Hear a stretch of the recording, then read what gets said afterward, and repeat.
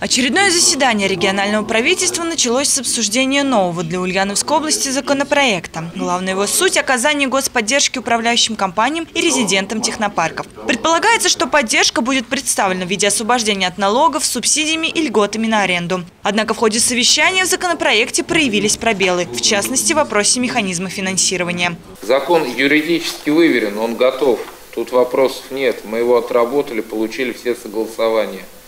Но действительно очень много вопросов по реализации именно финансово-экономической модели в том числе связанные с э, налогообложением. Подобные нормативные правовые акты, отдельно регулирующие деятельность технопарков, уже существуют в 10 субъектах страны. И чтобы наш закон ни в чем не уступал и даже был лучше своих предшественников, председатель регионального правительства Александр Смекалин дал поручение отправить его на доработку. По его словам, продумать нужно каждую деталь.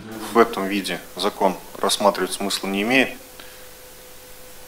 Вот, и я предлагаю коллегам из Министерства конкуренции, соответственно, корпорация Центра кластерного развития в течение двух недель доработать все эти моменты, донести до членов правительства, что мы хотим и какие нормативные э, акты должны быть э, параллельно с этим законом представлены, чтобы мы выступали с единой позицией.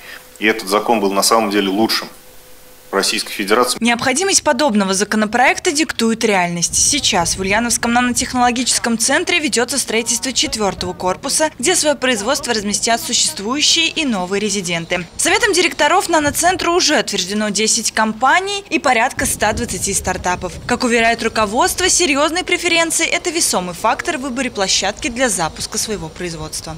Те компании, которые приходят к нам, а к нам обращается на сегодняшний момент как минимум одна компания в неделю, которая бы хотела тем или иным образом включиться в эту экосистему.